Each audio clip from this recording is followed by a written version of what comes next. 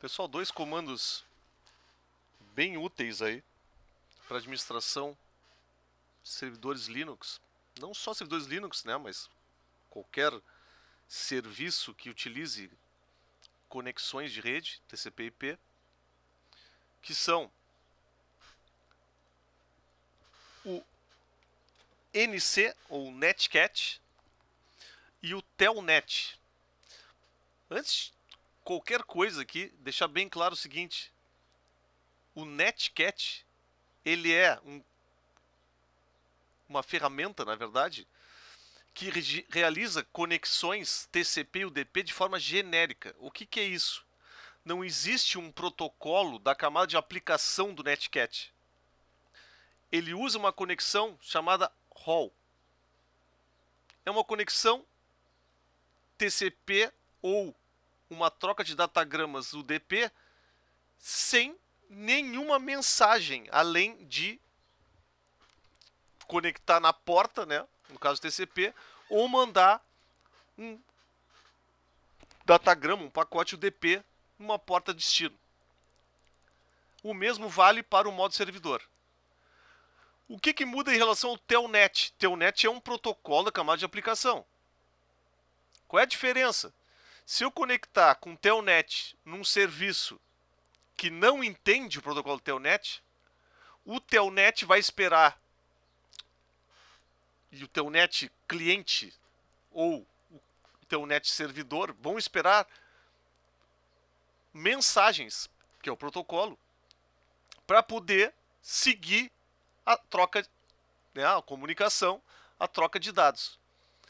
No caso Netcat, ele vai simplesmente conectar e vai ficar esperando qualquer ação, certo?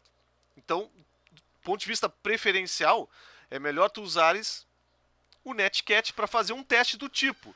Eu quero conectar na porta 8000. Nesse caso aqui, vou abrir a porta 8000, certo? Vou deixar a porta 8000 aqui aberta e vou usar, esse aqui é o modo servidor. No modo cliente, eu vou conectar nessa porta 8000. O que, que vocês vão enxergar aqui? Depois vou mostrar. Por exemplo, é tipo um servidor de eco. O que tu digitar de um lado vai aparecer do outro. Bem simples assim. Certo? Depois vou mostrar com o Telnet o que, que acontece. Ok? Isso aqui, esses dois casos aqui, é TCP. No caso de UDP, parâmetro aqui, menos U. Tanto para o servidor quanto para o cliente. Aqui tem outra coisa interessante. Dá para se usar um arquivo. Olha só. Bem simples. Envia um arquivo lá do cliente e do lado do servidor ele recebe o arquivo. Então, uma transferência de arquivo aí bem simplificada, certo? Mas pode quebrar um galho aí.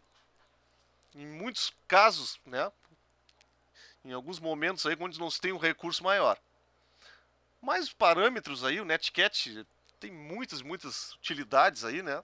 Não só a ferramenta em si, mas agregada a scripts, pode ser usados aí para vários cenários diferentes. Então é uma técnica aqui bem simples. Depois a gente vai fazê-la aí. Vamos ver isso na prática. Bom, o Telnet eles estão agregados aqui como ferramentas similares, mas o Telnet é um protocolo, né? Isso aqui é um cliente do protocolo Telnet. Isso aqui é para emulação de terminal. Né? Esse cara aqui é o equivalente ao SSH, o avô do SSH, certo? Não tem questões de criptografia, né? Ele é bem inseguro nesse sentido, mas de funcionalidade é emulação de terminal.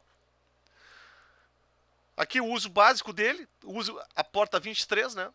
É a porta padrão do Telnet, protocolo TCP, mas é possível passar a porta como parâmetro aqui, em linha de comando, para poder testar, então, uma porta remota, ver se está respondendo.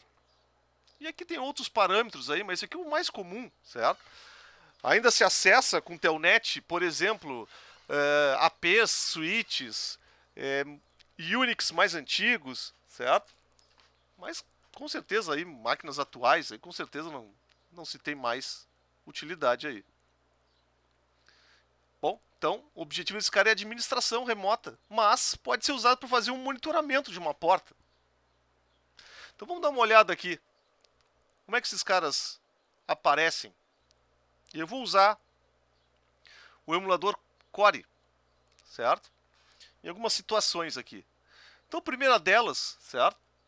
Eu vou estar aqui no N6. Eu vou ativar aqui a porta 8000 usando Netcat. Inicialmente vou usar TCP.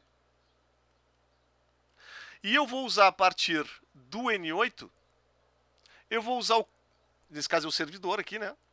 Eu vou usar um cliente Netcat e depois vou usar um cliente Telnet.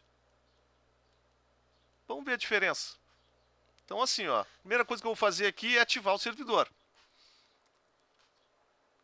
Porta 8000. Ele fica em escuta aqui. A gente pode comprovar por aqui, ó, olhando os sockets ali, dá para ver a porta 8000 em execução. Muito bem. A partir então do N8,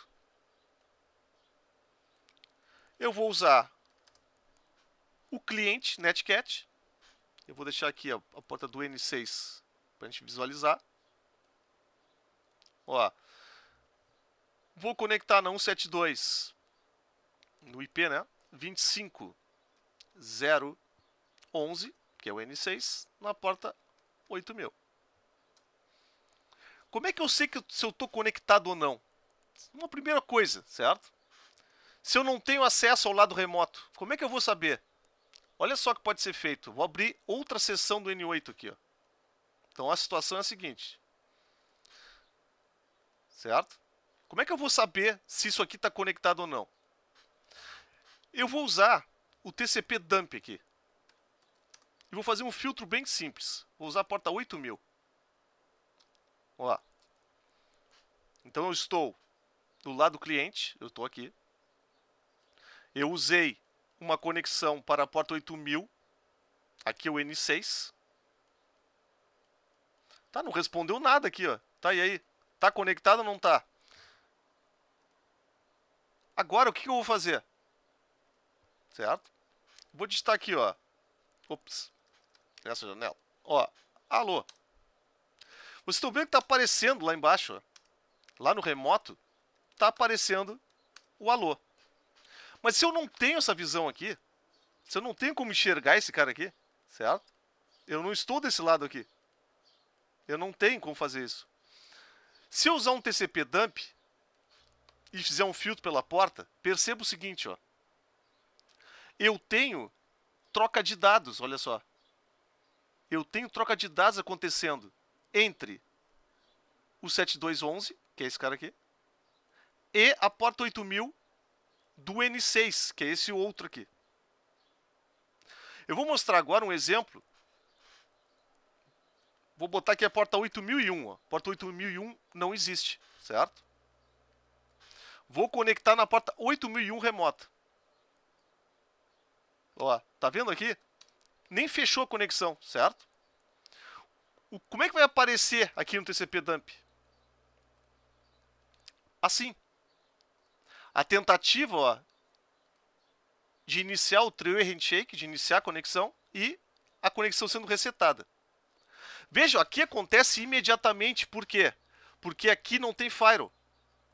Certo? Desse lado aqui não tem firewall. Se tivesse firewall, você vai ver o que vai acontecer. Olha só, eu vou fazer isso agora.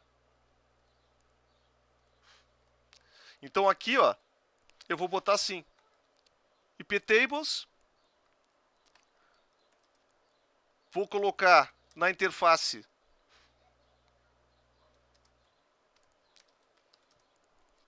de entrada. Vou colocar a porta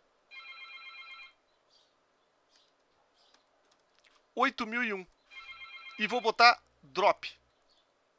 Ou seja, Ops. Faltou aqui menos P, TCP. Certo? Então eu criei uma, uma, uma regra aqui para fazer bloqueio.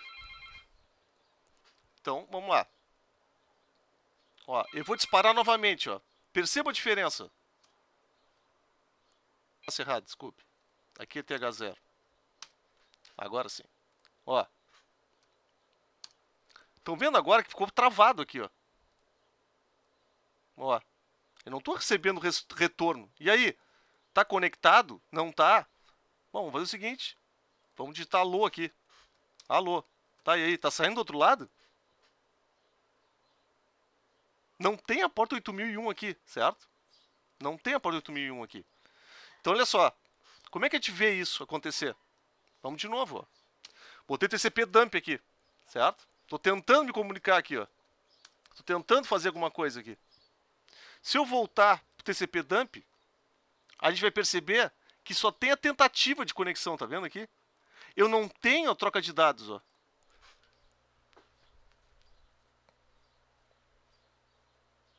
Então esse é um dos casos que podem vir a acontecer.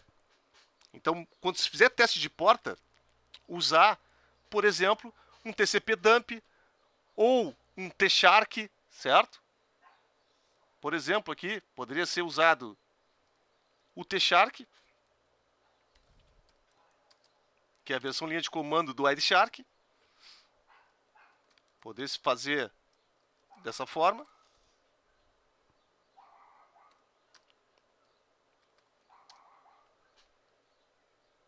Ó.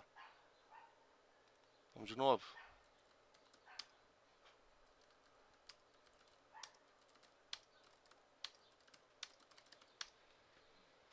Não vai aparecer nada aqui. Vamos tentar fazer conexão de novo. Ó, só tem a tentativa. Tá vendo? Ó, é só a tentativa. Tá aí o teu net. Vamos voltar aqui para a porta 8000. Ó, tá na porta 8000. Agora eu vou conectar na porta 8000. Vai acontecer com sucesso. Ó, vou fazer o filtro aqui pela porta 8000. Vai acontecer a conexão com sucesso. Vou agora digitar low aqui, ó. E tá vendo então a troca de dados agora. Certo? Corretamente. E se nós usarmos aqui Telnet para fazer esse teste aqui? Ó. Ah, que eu cancelei aqui. Pera. Ó. Se usar Telnet.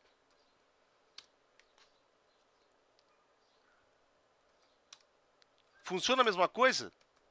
Funciona a mesma coisa. Nesse caso aqui. Por quê? Porque o Netcat aqui ignora essas mensagens do Telnet. Mas se fosse, por exemplo, algum outro serviço, poderia se confundir com essas mensagens Telnet e encerrar essa conexão aqui. E tu não enxergarias nada disso. Aliás, se tu fizer esse teste aqui para uma porta de um banco de dados, tu não vai enxergar dessa forma, né? Muito provavelmente vai ser encerrada essa conexão aqui. Então a única forma de tu ver se está ativo ou não é usando uma ferramenta de análise de rede como o TCP dump aqui ou o T-Shark, por exemplo. Então aqui um, um panorama sobre o uso das ferramentas Netcat e Telnet.